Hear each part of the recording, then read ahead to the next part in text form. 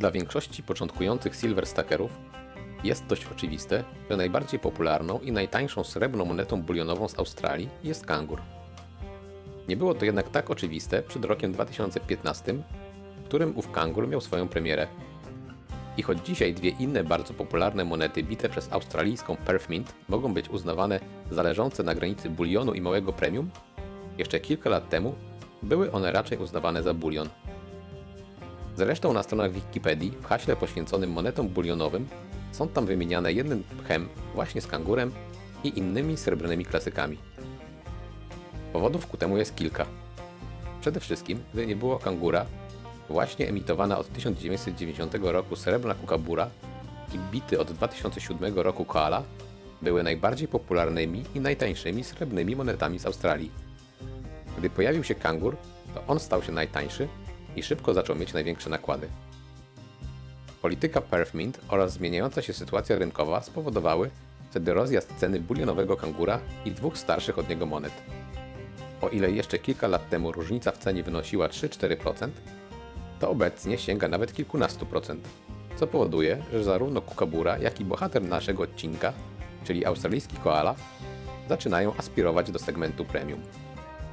Jak już wspomnieliśmy, srebrny australijski koala zadebiutował na rynku w roku 2007, kiedy to ujrzeliśmy monetę o wadze jednej uncji trojańskiej, czyli 31,1 g, która miała średnicę 40,6 mm, grubość niespełna 3 mm i rand ząbkowany. Nakład pierwszego rocznika wynosił troszkę ponad 137 tysięcy sztuk. Na awersie widniała głowa królowej Elżbiety II, wizerunek zaprojektowany przez Jana Rank Brodleya. Jest ona otoczona jaśniejszym pierścieniem, który zawiera napisy Elizabeth II, Australia, rok emisji oraz nominał 1 dolara. Na rewersie widzimy misia koale obejmującego mocno pięć drzewa. W tle widać teksturę przypominającą ścianę wyłożoną nieregularnymi kamieniami, a z boku, po łuku, napisy 1 uncja, silver oraz próba 999. W roku 2008 pojawia się kilka zmian. Nakład zwykłej monety spada do 87 tysięcy, ale za to pojawiają się wersje Proof i Private Mark. Rozszerzono także zakres wag. Doszły monety półuncjowa o nominale 50 centów, 10-uncjowa o nominale 10 dolarów i 1-kilogramowa o nominale 30 dolarów. Nakłady tych wersji nie były duże. Dla 10-uncjowej było to tylko 4367 sztuk, a dla pozostałych dwóch trochę ponad 13 tysięcy. Na rewersie zamiast jednej koali mieliśmy dwie. Rodzica z młodym siedzącym mu na barana. W 2009 roku znów mamy jednego misia koala siedzącego na gałęzi. Nakład monety jednouncjowej wzrósł znacząco, bo wyniósł ponad 336 tysięcy. To jednocześnie ostatni rok, w którym pojawia się kamienista tekstura, bo w 2010 roku tło za misiem jest już gładkie. Koala tym razem też znajduje się na gałęzi, ale jest ujęty trochę bardziej od przodu i z góry. Nakład monety jednouncjowej spada do 233 tysięcy. W roku 2011 pojawia się design znany ze współczesnych monet. Wizerunek w tym przypadku dwóch koali jest teraz otoczony pierścieniem, w którym na górze widnieje duży napis Australian Koala, a na dole mniejszą czcionką rok emisji, waga, próba oraz typ metalu. W tym samym roku w ofercie pojawia się jeszcze moneta 1,1 uncji o nominale 10 centów, a wersji Proof o wadze 5 uncji. Po kryzysie finansowym zapotrzebowanie na srebro fizyczne jest spore i Perfmint odpowiada na to zwiększając nakład jednej uncji z rocznika 2011 do aż 910 tysięcy sztuk. To rekordowa dla tej serii wartość. Dodać należy jeszcze prawie 49 tysięcy sztuk wersji Private Mark wybitej z okazji targów monet w Berlinie. Rekord mamy też dla wagi 1 kg, bo tutaj nakład sięga prawie 78 tysięcy. W 2012 roku na rewersie pojawia się śpiący miś, mocno obejmujący gruby pień drzewa. Nakłady znów są spore. Ponad 388 tysięcy jednouncjówki plus 32 tysiące wersji Private Mark wydanej z okazji kolejnych targów monet w Berlinie. Rekord osiąga nakład półuncjówki, której wybito aż 118 tysięcy. W roku 2013 koala siedzi pomiędzy konarami drzewa eukaliptusowego. Nakład monety jednouncjowej znów jest ogromny, bo sięga 477 tysięcy sztuk. Rok później na rewersie pojawia się zbliżenie na głowę misia, a nakład jednouncjówki spada do prawie 335 tysięcy sztuk. W roku 2015 znów mamy całą postać koali, tym razem siedzącą na połączeniu dwóch konarów drzewa. To ostatni rok bicia wariantu półuncjowego, którego ukazało się wtedy 97 tysięcy i 10 uncji, której wybito 20 tysięcy.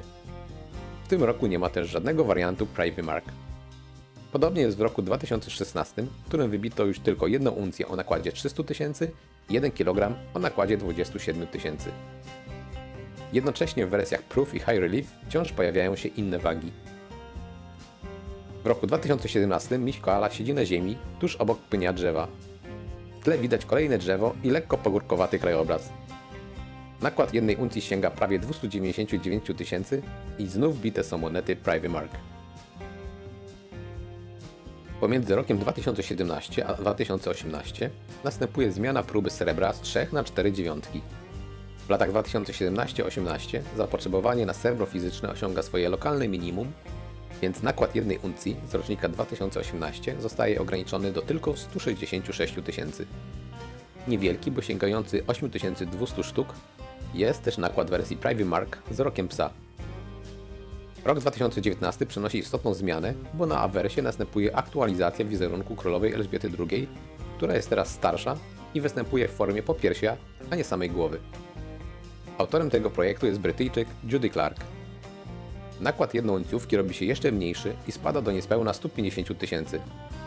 W przypadku tego rocznika mogę Wam pokazać wersję 1-kilogramową, której wybito trochę ponad 17 tysięcy sztuk. Kilogram czystego srebra w pięknym designie robi niesamowite wrażenie. Świetnie się na niego patrzy i doskonale trzyma w ręku. Polecam każdemu stackerowi, aby w jego zbiorze znalazła się choć jedna moneta tego typu. Czy to droga opcja? To zależy jak na to spojrzeć. Z jednej strony jednorazowy wydatek jest spory, bo to równowartość ponad 32 uncji srebra.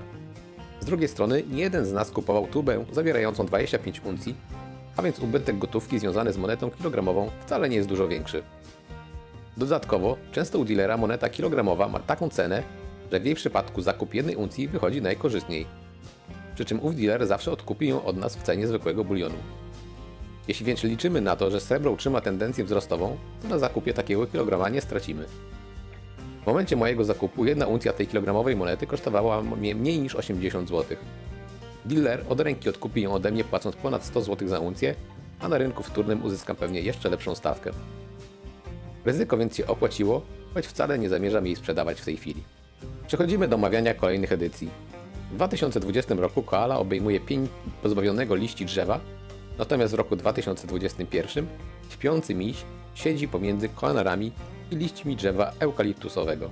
W roku 2020 wybito 222 tysiące wariantu o wadze jednej uncji i ponad 16 tysięcy monety 1-kilogramowej. Deklarowany nakład rocznika 2021 to 300 tysięcy, ale ile ukaże się naprawdę, dowiemy się mniej więcej za rok. Srebrne koale w wersji jednouncjowej możemy nabyć pojedynczo, w paczkach zawierających 20 kapsulowanych sztuk i w boksach składających się ze 100 monet ułożonych w 5 rolkach.